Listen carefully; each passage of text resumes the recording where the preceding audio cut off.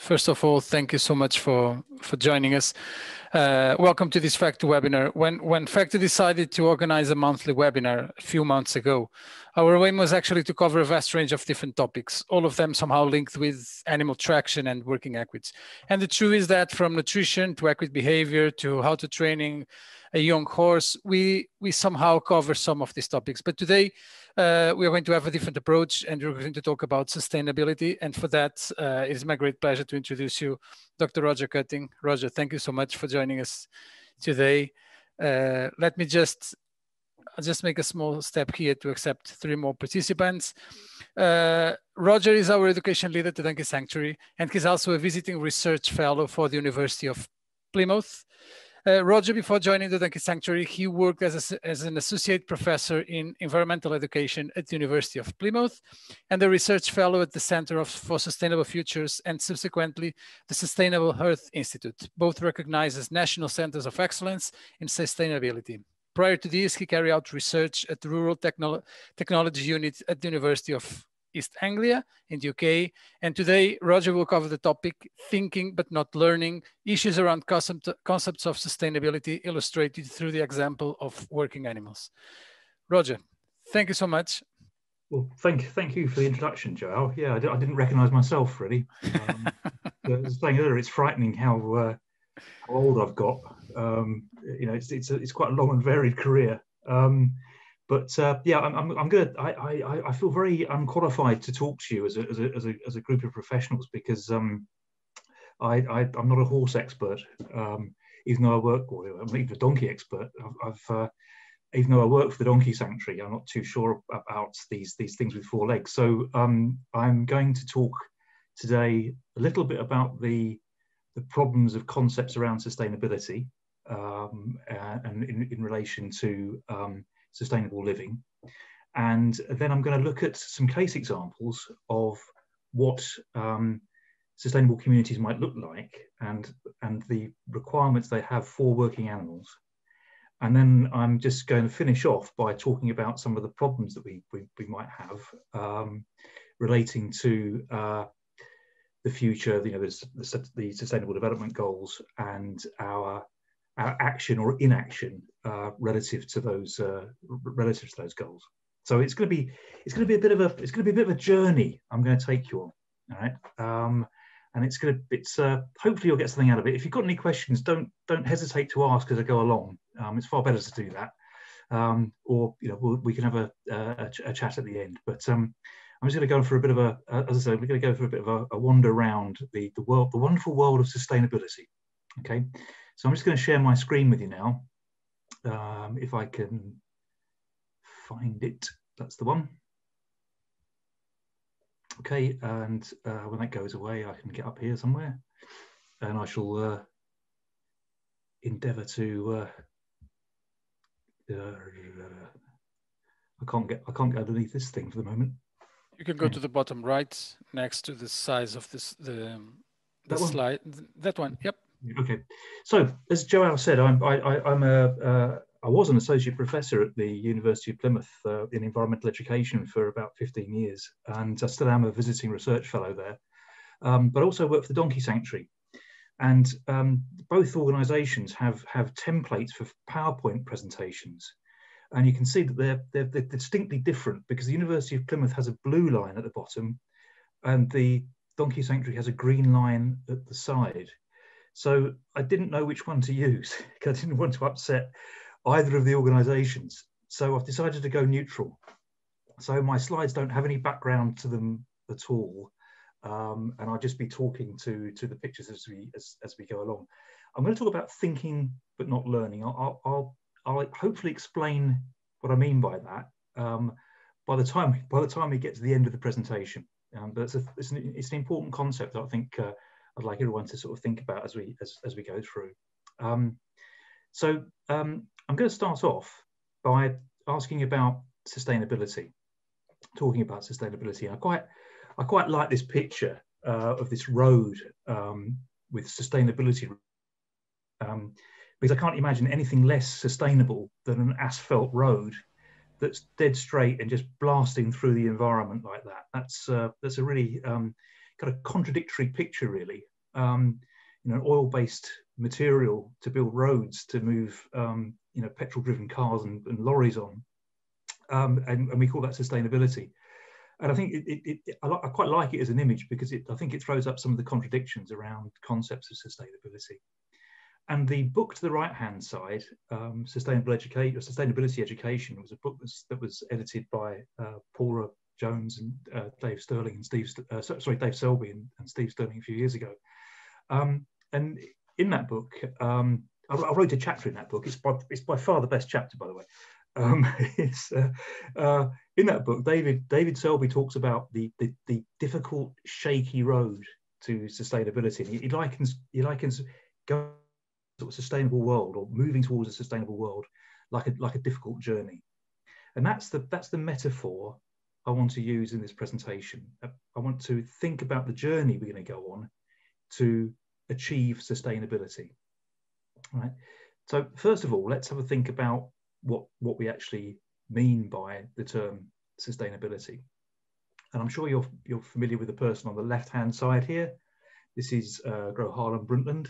Um, she was the chair of the, of the commission um, of 19, uh, 1987 that was the first commission, really, UN commission, to come up with the with the Brundtland definition of what uh, of what sustainability is, and it's that intergenerational thing that we that we need to. You know, I'll, paraphrase here, but we we have to meet the needs of the present by not detrimentally detrimentally affecting the needs of future generations, which kind of presupposes we need we know what those those needs of future generations are going to be, but that's the first kind of hard definition that we have of sustainability in, in, in 1987, so 35 years ago.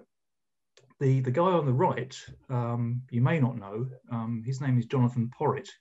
Um, he's a, he's a um, environmental author, he's a British environmental author.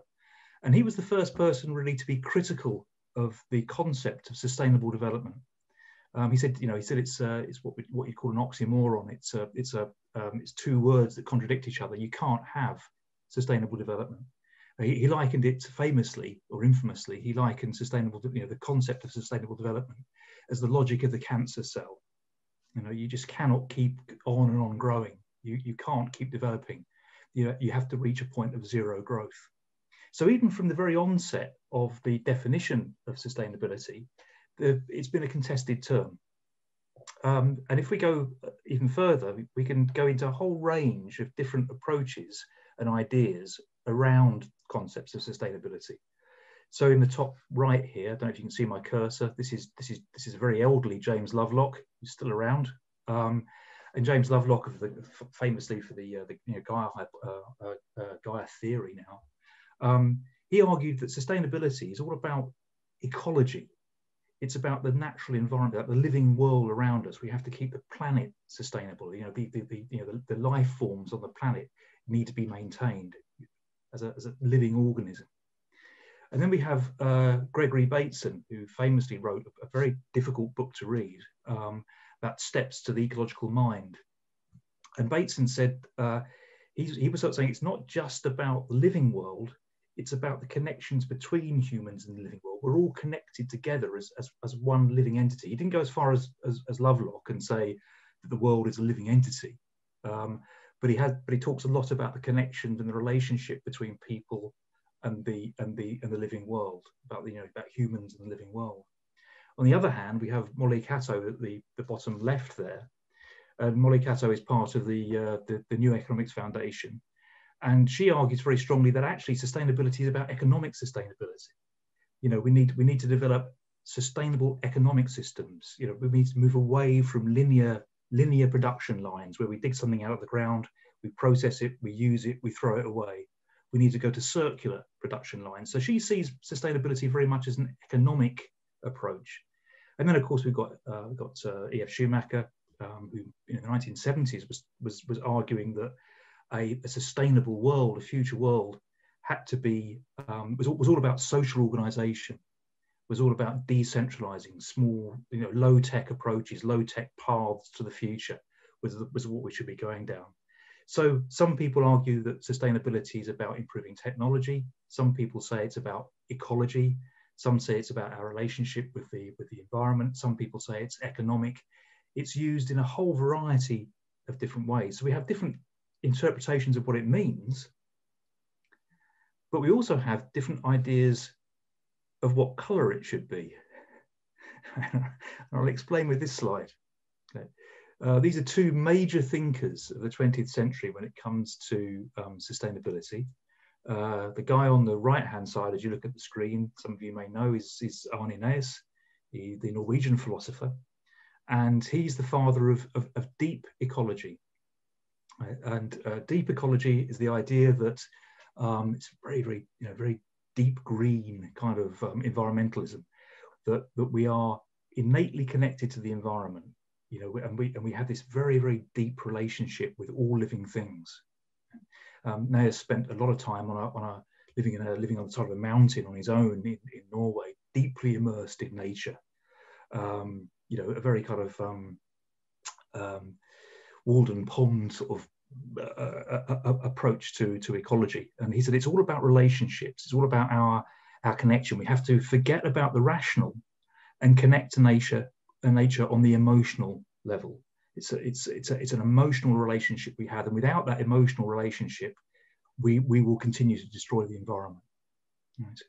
Um, the guy on the left there, some of you may know, is what it actually says is Murray Bookchin, and Murray Bookchin absolutely hated uh, deep ecology. Um, he called it. He, he coined the phrase "eco-lala." He said it's it's it's it's all tree hugging. It's nothing. It's it's nothing. It's it's it's it's not. It's it's artificial. Um, and uh, Murray Bookchin said it's not about relationships, it's not about emotional relationships with the world around us, it's about political structures. Um, Bookchin was a Marxist, and he said we will not be able to um, save the planet until we abandon capitalism. You know, and and that was that's the whole idea of, of, of social ecology. But it's not about relationships at all. It's about political change, about radical political change. So we don't really have a hard idea of what sustainability is in terms of definitions. And we don't know whether it's green or it's red. You know, it's, it's uh, and, and if it is green, what sort of shade of green? Is it deep green? Is it light green? Are we sustainable enough yet? Or, or do we need to change, you know, do we really need a, a Marxist revolution or can we, or, or, or just socialism do?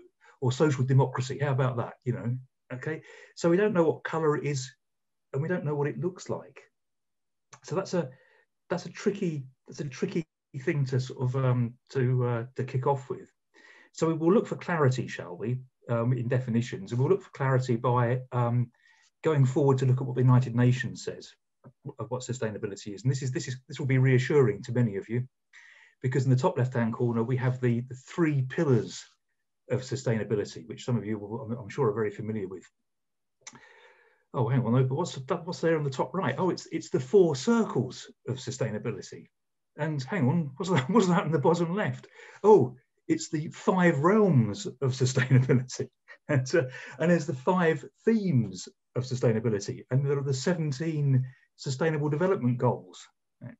Even the United Nations um, publishes rather ambiguous material about what sustainability actually is. It, it doesn't seem to be able to define it. Right? And then finally, for this section, um, some people are arguing we should just abandon it altogether. You know, um, it's, it's, it's been around for 35 years. We still don't understand what it is. Let's kick it into touch and, and, and, and we'll go down another path. We'll, we'll, we'll have another term. How about resilience? That will do. Right? So we'll replace sustainability with resilience, whatever resilience means. So the, the point i have I've laboured quite significantly here is that we don't quite understand what sustainability is and how it functions, but that's okay. That's all right. Uh, if you know anything about systems theory and systems approaches, you'll know we, that we you'll know the concept of the black box. A black box is something that you know something's happening, but you're not too sure what it is. You can put it into a black box and just ignore it for a while. So we'll stick this in a black box for a while. We'll just put that aside. So we'll, we'll just we'll just say well, we don't really understand. We know sustainability is something. We're not sure what it is. We'll just put it in a in a black box. Let's move on on our journey right, and see if it can be achieved. Right, so this, um, you may have come across this before. This is the, the Earth Overshoot Day, right? Um, this is the data since 1970. So this is the, the period of time, the time of year, where the Earth overshoots its resources. We're using more resources than are actually available, so we're, so we're not being sustainable. And you can see that the Brundtland report was in 87, which is that column there. And we've done really well since then. um, even with the uh, the beginning of the uh, of the whole concepts of sustainability, the overshoot days come further and further and closer and closer to us into into July. Right. So by by July now, you can see just at the end there, it's gone back up again. That's due to COVID. Uh, COVID nineteen has given the Earth a bit of a breather, um, but all the indications are that it will go back down again next year in 2022. We're ever consuming more and more of the Earth's resources. We're already at this rate consuming the resources of 1.6 planets, right, compared to where we were in 1970. Right. And if we go on to the next slide, um, this is by this is um, this is an overshoot day by by um, by country, and you can see hopefully here. can you see my cursor? Can you move it, Roger? Yeah, yes, yes, is there? Yep. Yeah, you can see here. Um, this is the United States, North America, Canada, and the United States. This is for this is for Stacy, and you can see that the Earth overshoot, or sorry, the, the, the overshoot day for the US and for Canada is the 14th of March. That's the point at which those countries have used their allocation of the Earth's resources. After that, they're using everybody else's. So for everyone to live like the average Canadian or American citizen, you've used up your resources in about three months. You've got another nine months to go. So it would take about four planet Earths for everybody to live in the same way that North Americans do.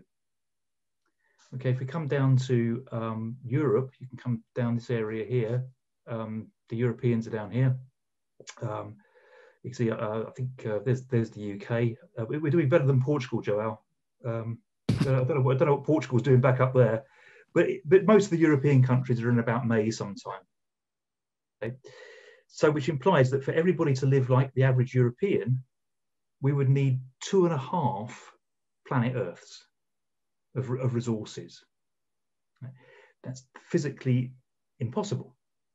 We will never ever reach a situation where everybody lives or has on the planet has the same living standards as the average European does. Now I know you can argue, well, resource development is a is a faint, strange thing. It can it can sometimes accelerate, it can sometimes slow down. But the point is that we're living on borrowed time. And even, I mean, the, one of the one of the problems with this graph is that many of the African countries are missing. But you can see even to get to get to sort of this area here, where we would be living at one world levels of consumption, we've got to live like Ecuadorians or Indonesians. No, no, no offense to anybody from Ecuador or Indonesia, but you can see that we've got to begin to really seriously consider a resource allocation, which would be the same as a low-income country for the whole planet. Okay, just to achieve a, a one world level of uh, one world levels of consumption. It would require effectively, and I think the coronavirus last year reduced the UK's GDP by about 10% the crash of 2008 reduced it by 3%. Both were really been really, really profound. You know, the United Kingdom now is broke as a country. We're in more debt than we earn. Right? Um, that's 10%. To, to, to achieve this would take a 60% reduction in GDP. It should be a profound change, revolutionary change to the way we live in Europe and, and, uh, um, and uh, in North America. Phenomenal changes. So we have to ask ourselves, is it achievable? Is it, can we live comfortably? Can we live sustainably? So we're not too sure what it is, and it might not even be able to be achieved. So let's move on to the next stage of the journey, which is to think about what does a sustainable world look like? Okay, and this is some this is a little bit of research we did at the university a few years ago. Um, these, these, these look like children's drawings. They're actually done by 20 year olds. Right? This is, this is the, I don't know what's happening to art education these days, but it's appalling in, in Britain, as you can see. Um, we, we, we, we, we used to ask the students to draw what they thought a sustainable community would look like, or a one, you know, a, community that was at one world levels of consumption would look like. And this is pretty ubiquitous. I, I chose these two pictures because they're pretty much um, sum, sum up some, some of the main themes that students used to identify. First and foremost, virtually every picture had a wind turbine in it, or some form of alternative green energy, like a water wheel or, or a wind turbine or solar panels. Um, they had things like you know areas for growing food. They were virtually all rural. We did this with well over 150 students. and Only two ever drew cities, um, and little eco houses, you know, designed houses and things. And have a think. Have a have a have a think for a minute while I while I sip my coffee. Have a think what you think a, a village or a community that lives at one world levels of consumption in the developed world might look like. Because now I'll show you. right. Um, this is a this is a, a community um, in Devon where I near, near where I live, and these are the, these are we worked with four communities like this when I was working at the university, and this is a group of people that have come together. Um, they're called low impact communities, and they come together and they buy an area of land. They buy normally a woodland, and then they move into it. They, they pool their resources together, and they move into the wood, and then they apply for permission to stay, which they normally get for five years, and then they can apply again after five years. They're not allowed to build any permanent dwellings. Right? And the four communities that we work with, there's about 24 of them in England, 24 low impact communities. These aren't just communes or um, alternative communities. There's lots of different types. Right? Some people buy houses, some people buy farms or small holdings. These people live off grid. So there's no electricity, and there's no running water and there's no there's no drainage there's no, no there's no running toilet you know um, mains drainage right? So they're they're they're, entire, they're entirely off grid right? And they live as far as they can and, and they're independently assessed each year they live at one world levels of consumption. So these young people are living at the level that everybody on the planet could live at. And this is this is what it looks like Okay, now they look a bit ropey from the outside because these are called, the, buildings are called benders. And the reason they're called benders is they're made out of bent hazel. They, they cut hazel trees, hazel bends very nicely, and then it's then it hardens up over time. And that's the that's the internal structure. And then they're insulated with um, with cotton filled uh, what we call eider downs or cotton filled material. And then these are tarpaulins, ex British Army tarpaulins that they put over the top. Right? They look a bit ropey from the outside, um, but inside, this is, this is what they look like inside. That, that lower one, the one at the bottom of the picture, that's the guest house. That's where I, that's where I, that's where I lived. Right? And the, the, the picture on the right hand side is the interior of the guest house. And that one on the left hand side, someone else's house. But you can see the interior structure. And this is how these, these young people live. Um, as I said, they live in one world level, level consumption. They don't argue that they're sustainable. Um, but they are trying to live much more lightly on the planet. Uh, they, are stepping lightly on the planet, really. They're trying to use fewer and fewer resources and recycle as much as they can. And that's the that's what the um, the land matters community looks like. So the point I'm saying is, is that there's quite a big difference between what you might have envisaged a one world sustainable community might look like and what in the develop in a, in a high income country at least what they actually look like. So my, my contention is that we don't know what sustainability is. We're not sure if we can achieve it. And we wouldn't recognize it when we get there because we, we don't know what it looks like. We're going to be like kids in the back of a car going on a trip saying, Are we nearly there yet? You know, are we nearly there yet? Are we nearly there yet? You know, how are we sustainable enough yet, or do we have to be more sustainable? So we don't we don't really seem to know where we're going. And the final point on this is this, this, this, this, this is the conclusion for the first bit of the talk this evening. The final point is this, is this diagram from Jules Pretty's paper that came out this year, 2021. And you may have seen this diagram before, this, this diagram before. It's a bit dated now, actually, but this is um, up the side here, we've got average happiness. Um, this was very popular in um, uh, the UK a few a few years back. Out one of our prime ministers, we get, we get through prime ministers pretty quickly these days in Britain. Um, but I think the prime minister before the last one uh, was very keen on, on, on engaging happiness. Um, so this is this is a this is a happiness scale of one to ten. Ten is you're ecstatically happy. You know, one is you're miserable. And along the along the x-axis is the is the GDP per capita, or you could you could equate that to something like carbon emissions if you wanted to.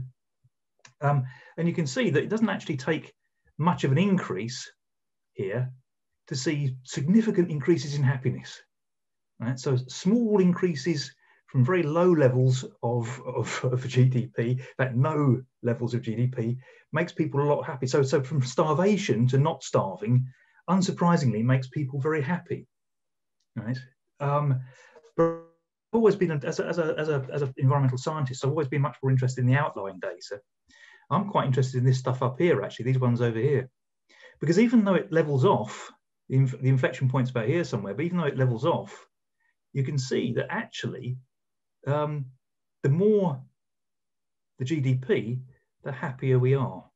Right? Not much more, but, but there's the trend. So just to recap, we don't know what sustainability is. We don't know whether it's achievable. We don't know what it looks like. We won't recognize when we get there, but we do know we're going to be less happy. So that's that's a real sales pitch there for sustainability, isn't it? I mean, do we really want to go on this journey? I mean, it sounds it sounds dreadful.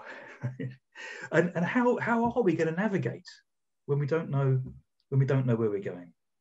Okay, so that kind of um, that's that's the uh, that's my end of the first bit of the talk. Is, there, is everybody okay with that so far? Is that right, Joel? Yep, yep. Go for it, Roger. Because now I'm going to go on. I know you're I know you're um, animal uh, people and, and uh, working animals. Don't worry, they're coming. I just, I just wanted to get that into the uh, into the mix first of all. Um, so, what we did a few years ago was at the universities, we decided to um, work with these with these communities. Um, uh, it struck me that a lot of people. Uh, this is the Stewards Wood community. This is um, in Devon as well. This is one we work very very closely with, and um, it struck me that that they had a reputation of being sort of hippies in the wood, you know, um, living in the woods, and no one really knew what they were doing there. And and it struck me that actually that that that they were on a really really steep learning curve. And if someone said to me, you go go over into that wood and create a sustainable community, create a, a low impact community, I, I, I, wouldn't know where to start, and, and, and, neither did they. So we thought what we're trying to do would be legitimize what they were doing and talk to them really closely and carefully about what they were learning about trying to live in one world levels of consumption in the, I don't know what, the seventh, eighth biggest economy in the world. So these are people trying to live in one world levels of consumption in a high income country. Right? Okay, and this is this is the Stewards Wood community, and you can see these are the, these are their, their dwellings, these are the houses that they live in. Um, this this one in the top right corner, uh, don't know if you I can't see my, my, my cursor moving around, I'm afraid, but the one in the top right hand corner, that's the communal kitchen and the guest house. And these are the the, the, uh, the house in the middle, top top middle, um, is a guy called Merlin's house. Uh, the, the, the platform here, that platform there, um, that's actually the stage from, if you're, if you're familiar with the Glastonbury Festival, um, that's the stage from Glastonbury. Um, Michael Eavis, who owns the farm that Glastonbury takes place on, um, donated the stage to them. So uh, Merlin's always very chuffed that Coldplay um, played on played on that stage. so uh, that's the one claim. Uh, these are these are somebody else's houses. You see largely recycled materials. Uh, this guy called John. That's John's house. In the, in the that's me intensely talking to him. Um, there's there's John's house in the background there. These are the guys working in the woods. They they obviously utilise a lot of the wood, and you can see that a great deal of the timber is cut from the wood, and, and, and there's an awful lot of transport and, and movement of materials around the site. How do they do that? Well, you'll be glad to know that the major um, uh, kind of energy inputs into these low these low impact communities that we were working with was animal power. And this is um, here, but this this is actually sorry about it's a bit pixel this this one. We're standing quite a long way away. This is um uh, this is a private contractor they brought in actually. Whoops, sorry, gone, gone, gone too forward. This is a private contractor they brought in, um, or they use their own horses to move the material around. Um, this is the this is um, uh, this one on the top right here. This is Owen. Um, Owen's lived on communes and, and, lived in communities, alternative communities, for very very many years since the 1960s. And this is and this is Khan, the horse they have at uh, Stewards Wood. And uh, they even, as you can see, the bottom right there, they um, if you can if you can um, see that picture, they even they even take Khan to the pub with them. Right, so they they, they take the horse into the pub, um, and all the locals love him. And uh, but it's a really it's a really important relationship, and it's the major it's a major source of power. When we took students to these places, remember those pictures we got them to draw, and they always they always drew wind turbines. Um, actually, these communities don't need electricity. Their, their electricity demands are very, very low. They don't, they don't have wind turbines. They have some solar panels which allow for LED lights in, in the houses, low, low energy lights in the houses. But that's, that's about it. That's all, that, that's all they, they want the energy for. The, the main source of power is, is other animals. Um, and that's, a, that's an important part of the learning process from from these communities. So that's that's the Stewards Wood community uh, near Moreton Hampstead in, in, in Devon. For anybody from the UK, this is just near Dartmoor National Park. Um, this one is Tinker's Bubble, and Tinker's Bubble is in Somerset, just across the border. This is quite a well-established uh, uh, community now. It's been there for a few decades now, actually, and you can see better better quality temporary houses. Under, under their planning regulations, they're only allowed to build temporary temporary structures. Right? Um, and you can see this this one in the, bottom, the center bottom picture is the is the guest house. That's where you'd stay if you went to uh, if you went to work at Tinker's Bubble. Um, and the roundhouse to the bottom left there is that's their that's their central meeting place. And these are these are the houses they built again, groups of young people, and once more, they're living at one world levels of consumption. And one of the important aspects of their lifestyle is the animal traction, right? And the horses are used. This is their this is their orchard, um, top top left there. They're using the horse there for, for as you can obviously see for ploughing. And on the right hand side, uh, the horse here, um, you can see that that big that big wheel there. Um, this this horse is helping make cider. Um, they they pull that rope and the apples fall into a, a circular trough, and the horse takes the takes the rolling stone round and crushes the apples, and they get the apple juice and ferment it and make cider, which they then drink, uh, and they sell in the local the local markets as well as, a, as an additional income. Now, it's quite easy to be critical and say, well, hang on, you know, this is not really truly sustainable. They're using the trappings of um, of, of, a, of a, an unsustainable world in terms of the carts, in terms of the of, in terms of harness, but they're but they're making an effort. They're trying. They're trying to live in a different way. And um, I thought, as you, uh, you, you might want a break now, so I've got some really, really, really poor videos of of horses moving, which I'll show you as, as a, a bit like a, a bit like a break.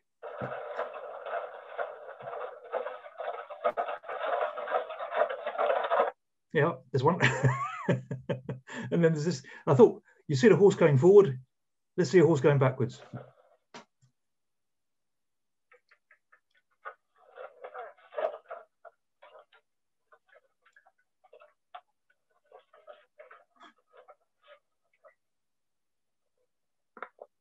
Okay, so I thought you'd just like to see those really, as, as, as I said, as your uh, as your working working animal people. Um, there's some shots of horses, and it, I like I like the last one where the, where the horse is going backwards because you can actually get an idea of what the communities look like look, looks like and feels like, how quiet it is, how peaceful it is, and how deep in the woods it is as well. These a lot of these communities tend to be pretty low under the radar really for uh, quite obvious reasons. And then finally, if you're wondering how they they they plank the material up um, to build the houses, I've got two more interesting videos to show you. This this isn't about animal power, but it's an alternative form of power They've got a steam engine.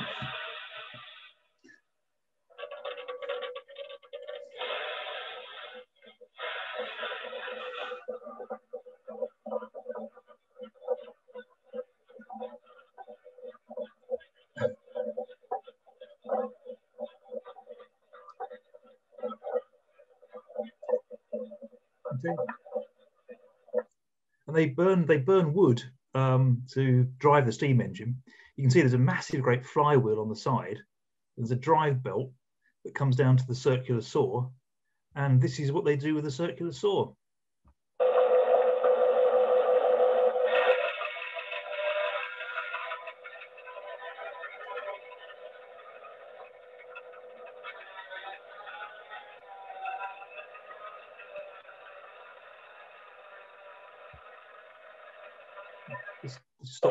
Sorry.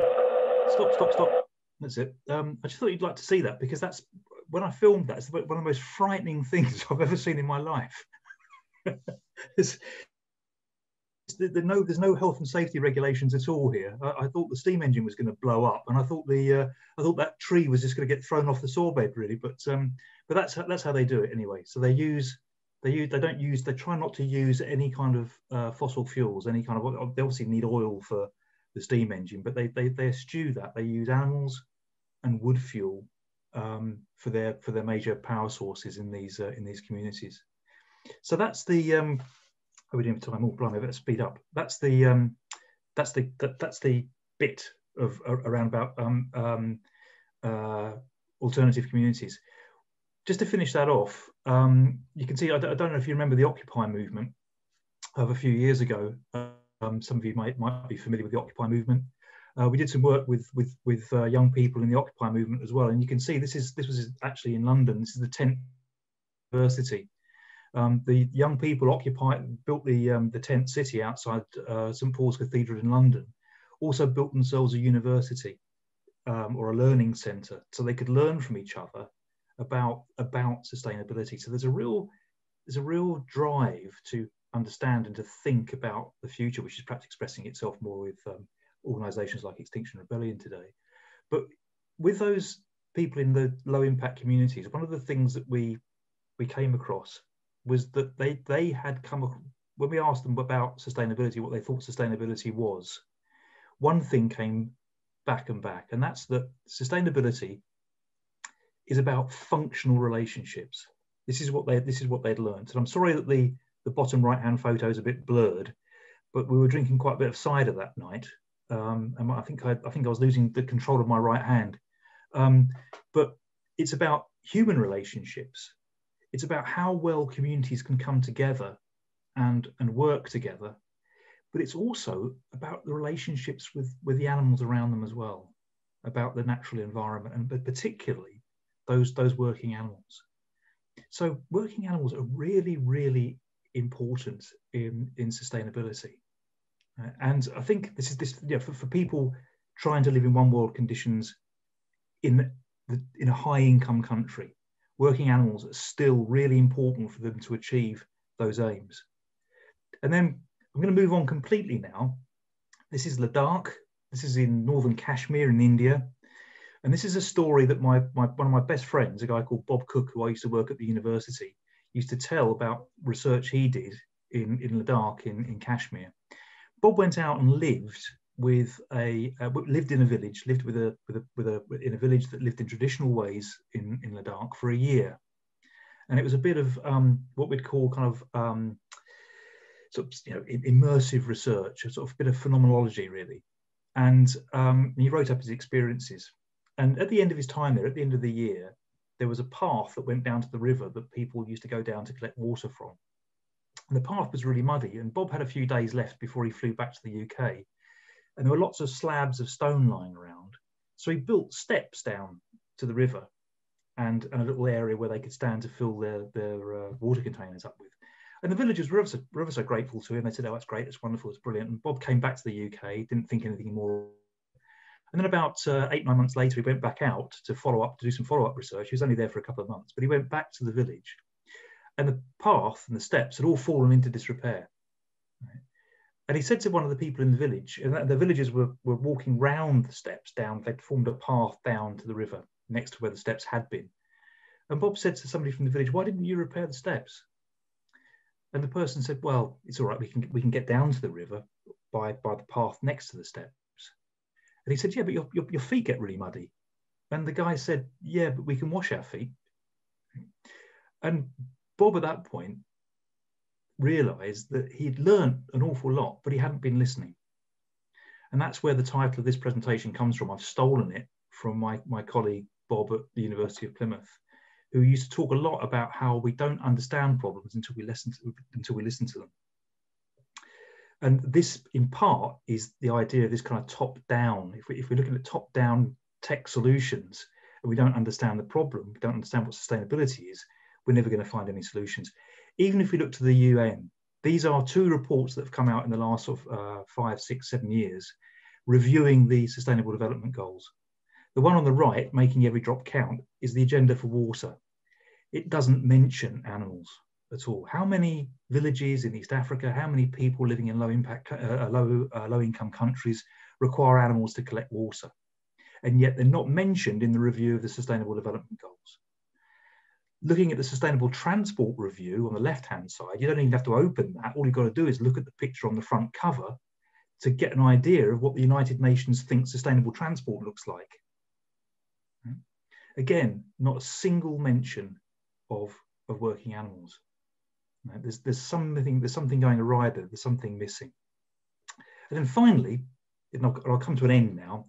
Finally, that's that's me there when I was about five years old um, in, in, the bottom left-hand corner. These are, these are the two universities I've worked for. The top left university is the University of East Anglia that, that Joel mentioned in the introduction. I worked there for about 16 years um, and I did research there as part of the Rural Technology Unit.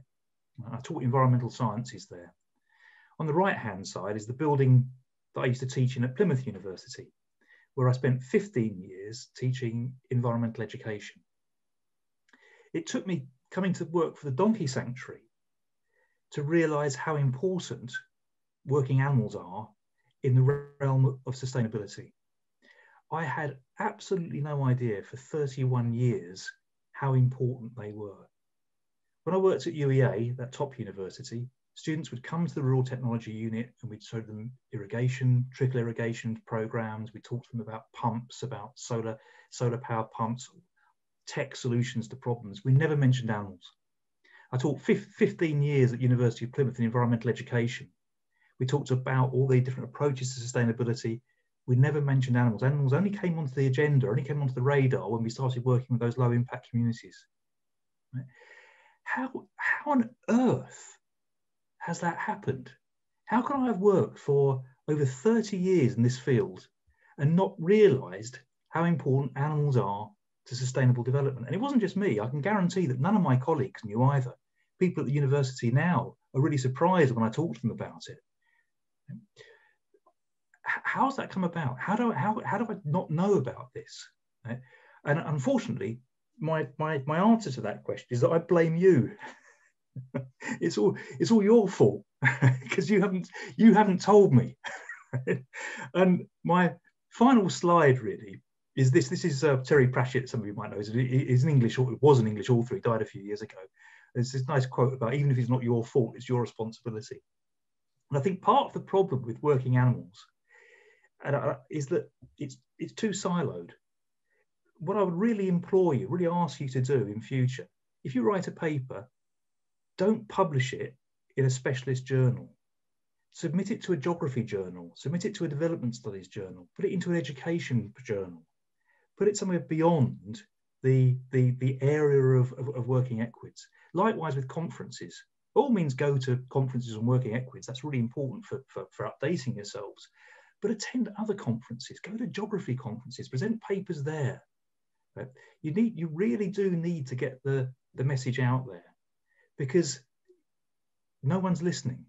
No one, no one's hearing you. We, we, we, we're learning loads. We're learning lots and lots and lots about stuff but we're not listening. And, and you, you are so, so important in the sustainability agenda. I've really come to realize in the last couple of years how, how important working equids and how important working animals are particularly in low income countries. And it's a message which has got, if you excuse the pun, will have real, real traction and can make a really significant difference. But the message really has to be out there. So that's been a really long, weavy journey. If you've understood about 10% of it, you've done better than I have. Um, I hope you I hope you got something out of that, uh, even if it was just a bit of a rest. and uh, just to go back to my original point, um, both University of Plymouth and from the Donkey Sanctuary, thanks very much for listening. Is that it? Thanks, Roger. Light it's getting dark. Thanks a lot. Uh, can I please ask you to stop sharing uh, the screen? There we go. And maybe the next thing I'll do is I will ask people to ask you some questions. I can see there are some comments here.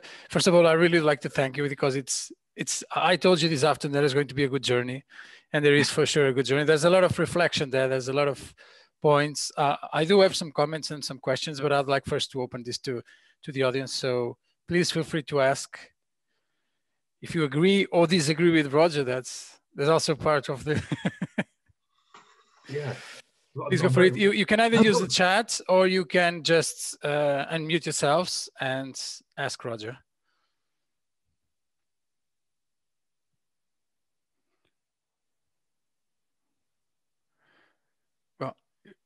I think I'm going to break the ice first, Roger. There okay. is I don't know if you know, but there is a there is a uh, an Australian author, uh, Reggie Fuller from Deakin University in Australia. This person wrote a, a fantastic paper in 2012, and the title is "Human and Animal uh, Renewables: uh, Human and Animal Energy: The Forgotten Renewables." Yeah, yeah, and it's it's it's a fantastic title because it's all about sustainability, it's all about renewable, and at the end human power is actually the most incredible renewable source of energy. And if you then, if you if you manage to bring animals into the equation, yeah. it's it's it's absolutely incredible. If you bring human power and animal power, we're probably talking about 75 to 80 percent of the total power that rural workers in the world use nowadays. Yeah. Which yeah. is which is quite incredible. So the, the reason Pete, Pete Slessor from FECTU, he has a, a, very interesting point that says that they are not storable, you cannot mass produce them, and yeah. they are not readily available when you want to use them, especially in, in, in, urban areas. So, and that he thinks is one of the reasons, or uh, maybe some reasons why people tend to move, sorry, tend to move away from physical efforts and things that show you when they are linked to poverty people try to, to tend to move away from that. So mm. is that part of the process? Try to show that there's nothing bad if you if you want to do manual work and work with animals? Yeah, I think I think that's I think that's really important. I think I think it is part of the process. I think one of the things it, one of the things when we talk and think about a, a future sustainable world is that people always fall for fall into the production side of things. It's how do we produce electricity? You know how do we how do we produce this how do we produce that um, and that's what, what, I said when, with, with, the pictures that the students used to draw of, of, of, what a sustainable community looks like. It would always have they'd always have wind they'd always have um, uh, uh, wind uh, wind turbines. It would all be about electrical power. You know how are we going to how are we going to get electrical power? In fact, actually, when you lower your consumption, you you you, you can you can rely on on different sorts of power and, and, animal power, as I said, is, is, is a really, really important one because as, as, that, as the guy that wrote that paper has pointed out, you don't just get the power of the animal, you get all the other additional aspects like, uh, you know, it doesn't poach the soil, you've got the manure to, to, to, to reuse and to, re, to use as fertilizer. Um, it provides you with a, with a, with a different sort of focus, all, all, all manner of things. So you, clo- really, you, close the cycle, right? Yeah, you, clo- you close the cycle. It, it, it, it's a cyclical production and and and that is is and, and of course you know it's you know, essentially carbon neutral as well. So you've got uh, it's a really it's a real positive. And it's it's about one of the few ways if you really wanted to go back to one world if, if we're going to look at you know greater sustainability i'm not saying that everyone's got to live in a in a in a in a in a you know in a hut in a wood. Um, that that's you know, that's not what i'm suggesting at all and it's not what the people in those communities suggest but we, we need to spread our our energy requirements. We look we need to look at all ways of, of, of doing things and, and, and, and keep the and, and keep the door wide open. You know, let, us let's, let's think of as many different ways of, of, of living and, and different different ways of, of creating energy and movement than just using baseload electricity all the time. You know, from central from centralized power sources. Especially because it's it's it's like a, a lie saying that energy uh, electricity is a clean energy when we know the impact that a big dam yeah. may have in a in a river right yeah, well, yeah, i mean that's that's one of the problems with anything you know with with greenwashing isn't it it's like electric cars Yep. I mean, governments are, are, consistently saying, you know, that oh, we're, we're, all we're doing away with diesel and petrol engines um, by 2030 or whatever. Um, but actually, if you look at the carbon balance from from raw material to to scrap, the the the carbon emissions during the lifetime of the car are only a small part of the total carbon emissions yep. of construction. Yep. When you look but, to life cycle analysis, the reality is completely different. Yeah. No, no one does the maths. That's that's one of the big problems with sustainability. No, no one sits down and does the mathematics. Yep. Uh, Alex wrote a comment here. Say, "I Roger, one problem I always feel uh, with trying to live like this community is that the backup of good healthcare for humans and animals has to rely on very modern technology, whether there is contraception to reduce population growth, vaccines for us and for like friends, or human euthanasia, or humane euthanasia, sorry. I am not sure we can go back or forward without the knowledge list. No, I think that's absolutely right, uh, Alex. And I think yeah, those those those four communities that we work with on that research project are are rural communities, and you know I don't think I think we're beyond the the Schumacher idea of decentralized low tech piles now for everybody. I think the real challenge in the future is how we how we have sustainable cities and how we maintain the technology, particularly the medical technology, as you say, how we how we maintain those. Um, but I think again, I think the only the only way I can see forward is for a range of different different ways of living you know accepting different different patterns and different ways of of, of, of, people existing um, uh, you know uh, uh, say in, in the united kingdom for example um, it's really important that we have those technologies you know i'm not i'm not i'm not at all suggesting at any time and, and neither are the people who live in those communities that we're going to go back to the middle ages or we're going to go back to some pre-industrial um, world um, we couldn't do that anyway. I don't think it's I don't think it's physically possible to do that. We wouldn't want to do that. We, we enjoy fantastic levels of life expectancy and health. We, it's never there's never been a better time to be alive, ironically.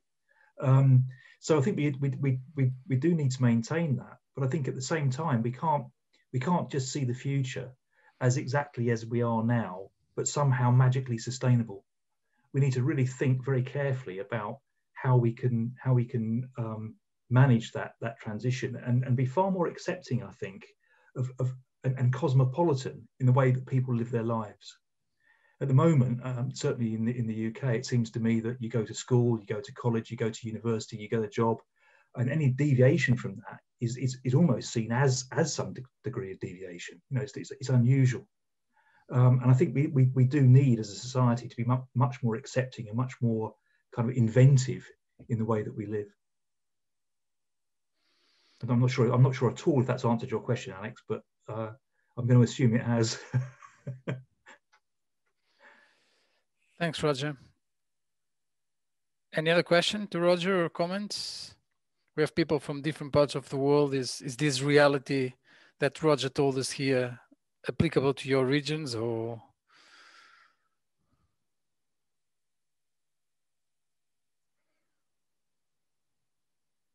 I just thought I just thought they were quite interesting examples for you to think about um, in terms of, as I said, these these young people in particular, these these four communities. They are unique, but they are you know they are in a in a in a, in a high income country, and they're kind of trying.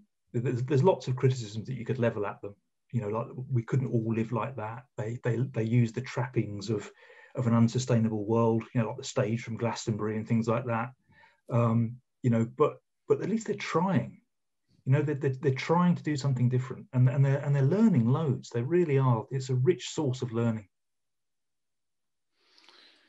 And how is the general public opinion about these communities? Because somehow what you're telling us here is these people, they are just thinking out of the box. They are not reinventing the wheel. They're just taking, as you said, coming one step down yeah. in terms of technology. Uh, I think they will be happy to know that the Amish community already developed a huge amount of technology to make all those machinery work with horses, so they don't need the steam engine. I think they'll be they'll be happy to know that. frightening as hell, that thing. but I think you know nowadays with all this social media, with with with with this world, people is more afraid than ever what others may think. You know, in public opinion. So, yeah. is that a factor that's is making people not going back to what they want to do or it's pretty it's pretty hard living like that. I mean i i i, I was in and out of those communities during the during the research project and staying over. Um, it's it's quite a tough life. But I mean, one of the things that, that they all do, um, particularly the Stewards Wood community, the one with the, the stage from Glastonbury, that lot, the ones that take the horse to the pub, they've made a massive effort to get on with their neighbours and to, and to go into the village you know they have a quiz team in, in the local pub. They take the horse down and give kids rides. They, they take part in all the community events you know and, and they've really tried to dissolve the barrier between any, any kind of barrier between them and the local community. They've, they've made a really really big effort to do that.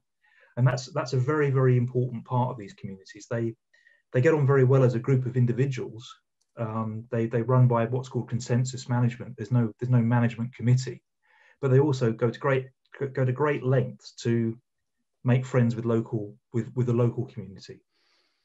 You know, with the uh, the sort of um, yeah the the uh, I suppose the high you know the, the high usage community as opposed to the low low usage community because it's really it's really important for them that they don't that they're not seen as being something bad or something poor.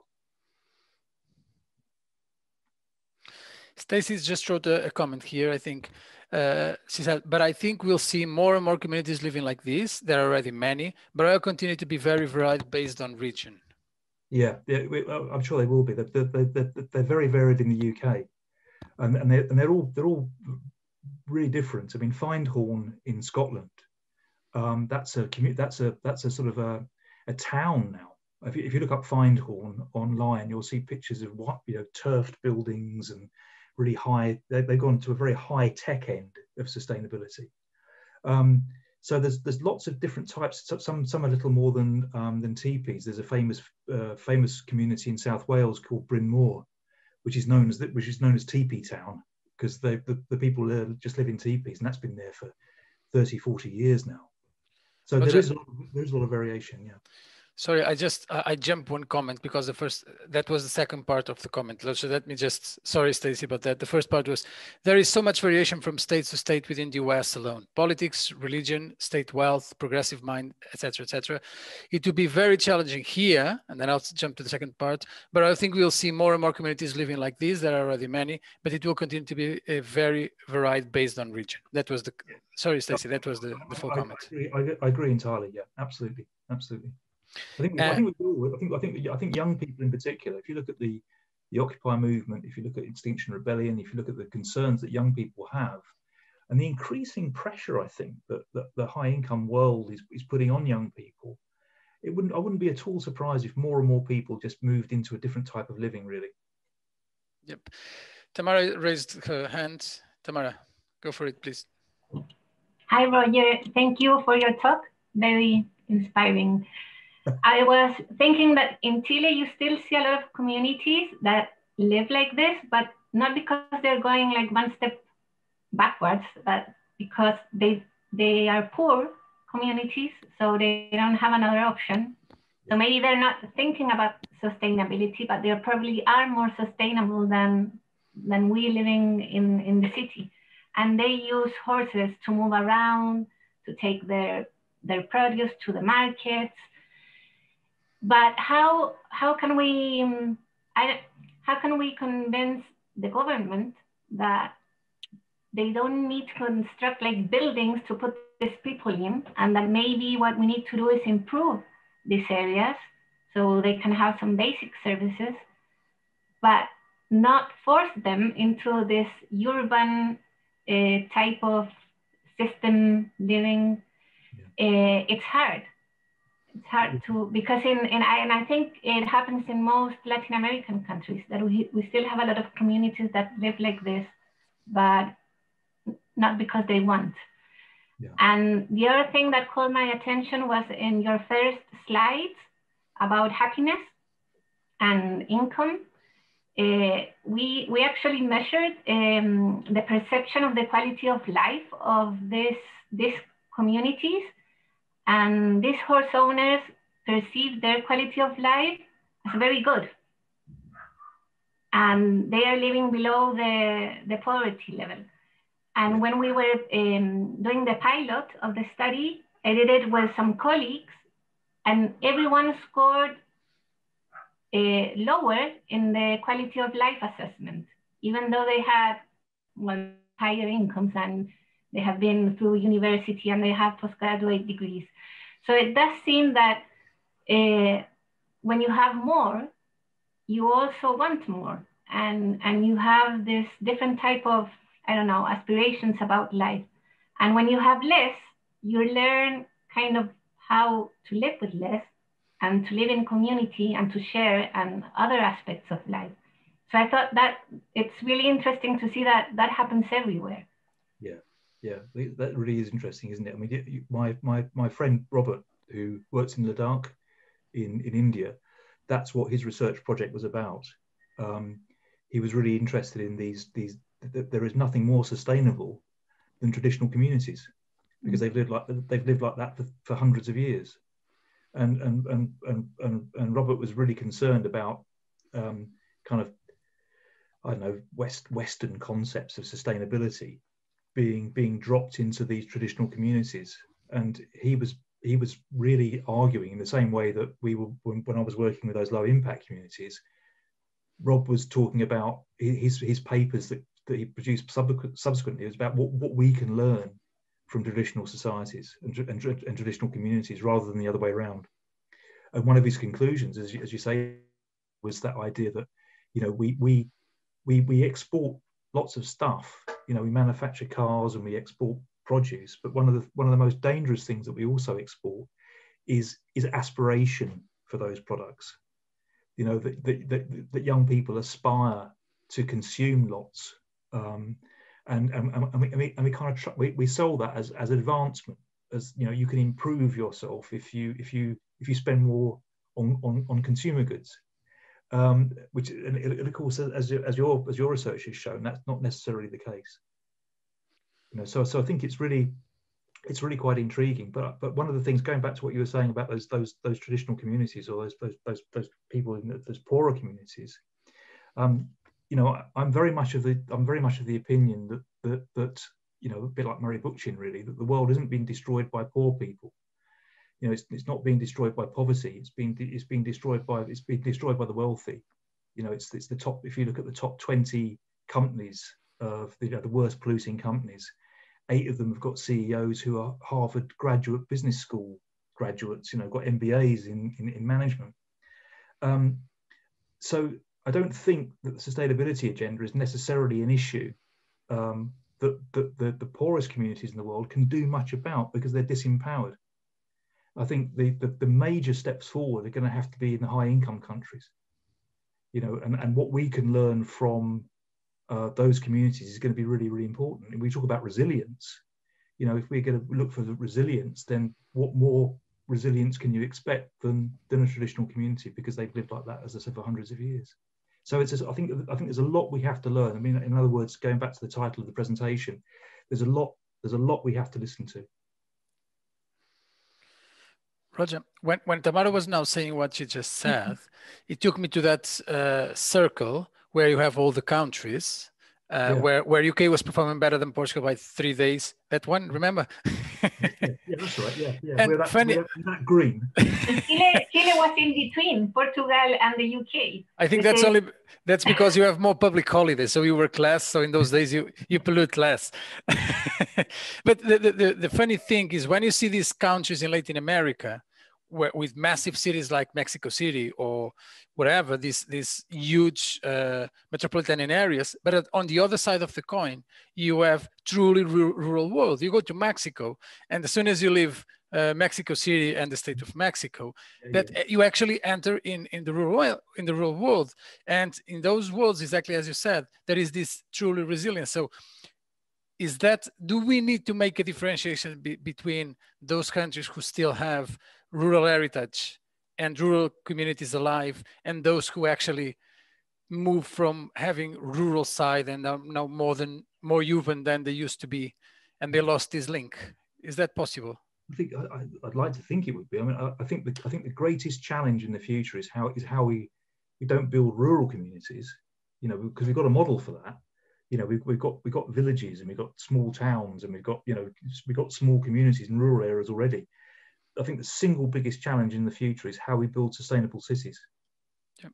You know, how we how we move cities, you know, large, you know, large, you know, massive cities like Mexico City, for example, or, or you know, Santiago or London or, or Lisbon into you know into a truly sustainable form you know and, and, and, I don't think it's I don't think that would be impossible I mean cities are actually quite green on the face of it because they they have mass transport systems and things like that but it that's that's that still remains the, the single biggest challenge I think and it's and it, of course the, the, the, problem we have today is that um, when Schumacher was around and writing you know small is beautiful and talking about low tech decentralized um, um, societies there were half there were half the people in the world. When the, the population of the planet is, is more than doubled in, in, in my lifetime. Yeah. Stacy. You're on mute, Stacy. There you go. I know. Sorry, I'm trying to get my video back to you because I I feel like it's not nice when you can't see the person. sorry. I, I was you. I basically you said you just touched on what I was going to ask, or or just pose because I, I think the urbanization question is huge. Like the population is supposed to be 9 billion, isn't it? By 2050, town was ten yeah, billion people. So yeah, so not everyone's going to be able to live like, like this. And so then, you know, really trying to green up cities and I, think the only plus side to having so many people in such a huge population density is that you can enact policy that's going to have a huge impact on many people you know at one time. But you know you have to make huge changes in the transportation sector and the energy sector you know to try to to try to do that. I, I just don't know how we're going to do it. I, I, I, I, don't see much much progress in that either beyond beyond sort of um, you know uh, piecemeal piecemeal policies about um, about you know um, air pollution and yeah. uh, banning cars from city centres and, and, and, putting more money into transport systems, which is just a, a, drop in the ocean. I think I think the two really the two really big things that we're going to have to um, look look for for the future are sustainable cities. Um, I think you know working animals might have a role to play there, but I think the other thing, the other elephant in the room, no one's talk, no one talks much about, are the, are the carbon emissions from agriculture. You know, it was a third of, of, of atmospheric carbon, you know, um, uh, a third of greenhouse gases um, are emitted through through agriculture, and, and there's very little we can do about that because that's that's that's our food so ad addressing low carbon agriculture um, is, is also a really significant challenge. And, and there you might find there's, there's, a, there's a greater role for working animals. But it's but you know, whether you're going to feed the world, you know, uh, in, a, in, a, in, a, in a, with a low carbon approach is going to be really is going to be really difficult. Yeah, because animals fit in a specific production model. You know, you cannot expect to manage a 2,000 hectares farm of cereals in Australia pulled by horses. You, you, you can't do it. Mm. You know, so I think, you know, I think we need to present the working animals as a, a powerful tool after you decide to to to to, to to follow a path. If your path is to go down and to keep your small farm and have your production, then working animals can be a very powerful tool for you. You know, it's it's. I think it's it's part of our job. The same way Roger was saying that we need to go to different areas of study, go to to different conferences to to spread the word. I think we need to present working animals as a very powerful tool if we decide to take a certain path. If you decide to go the other way, there's nothing. It's a little bit like when we talk about. Uh, sustainable forest management. If the idea is to cut an entire forest, there's no there's no room for animals. You just bring the big machinery and you finish first you know but when you're going to cut all the trees you're not counting on the soil you're not counting on the environment the local species uh, nothing so it's it's i think we need to make the decision first and when that decision is a more green one a more sustainable one to use again the word is then when it can well we have a solution that may be useful for you. I think that's the way to to do things. Otherwise it'll be very difficult. Yeah. Yeah i don't i don't disagree. I mean it's there are some huge problems in the future. And, and, and you as an organization, I think, do have a really important role in terms of promoting the uh, promoting the, um, the, the, the concept or the ideas around around working animals um, because it, it, it remains you know it, it's certainly an option for certain communities in the future but it remains in, in my opinion at least in, in my in my professional circles in the in the university sector particularly in development studies in geography it, it, it remains an unknown it remains an unknown factor. You know, I, have been to endless conferences uh, over the last few years to talk about um, to talk about working animals and their importance, particularly in countries you know, and, and people have never heard of it, never never come across it. And I, and I was one of those people. I, I, when I worked at, uh, when I worked in Norwich, when I worked at the University of East Anglia, we used to work in Ken, we, we worked in northern Kenya. Every year we'd go out to northern Kenya. We worked in Ethiopia. We worked at Mekelle University in northern Ethiopia, and we were completely oblivious. We were blind to it. It's it's taken me meeting you as a, as a, as a group of people for me to realize the importance of working animals for so many communities. So I think you, you do have a really important function a really, really important role to, to get out there and, and, and to push this message. So that's not, not too much for you to ask, really. Just it's, it's, down to you to save the world. I've had my time. I, I, I failed miserably. Things have got progressively worse. Um, so, so it's over to you now. Is that why you're getting retired? I'm retiring to, to uh, yeah, I'm gonna I'm, I'm, I'm, retiring next week if, if you if you didn't know. Four days and counting, right, Roger? Four days. Four more days. so, Paolo just wrote a comment to say uh, each one can make the difference. It's a long and hard path, and I think this is not being pessimistic. It's just being realistic. I, I think, right? Yeah, it's it's, it's a terribly it's, it's going to be a terribly difficult path. Yeah, yeah but it's one that it's one that we we've been talking about for 45 50 years. Um, you know we've known we've known for a long long time. I think if, if anything our, our children and our, and our, children's children will look back at us as a generation and think why didn't they do anything? Yeah, they knew what was happening. They had all the data. They know what's going on but they did so little. And we've spent so much time talking about stuff which is why i admire those people in those communities actually those those low impact communities because we spend so much time talking about stuff and, and, and not very much time doing things. And they've actually, young people in particular now, seem to be really engaging with it and actually, you know, and actually trying to live in different ways and trying to take things on. Well, that's that's a hard path, but there's hope, right? well, we're nothing without hope, Joel. I don't know if there is any final question for Roger. No, no, I'm not getting paid for this. There's a final comment from from Stacy. She she just left and say, "Are you running off to Tinker's Bubble for the retirement, Roger? See you soon." So maybe that's an option, Roger, for you to think about it. it's far too hard. I'm just going to buy a gas guzzler and have a party. There we go. We can give you a donkey, and you can work with them with your donkey.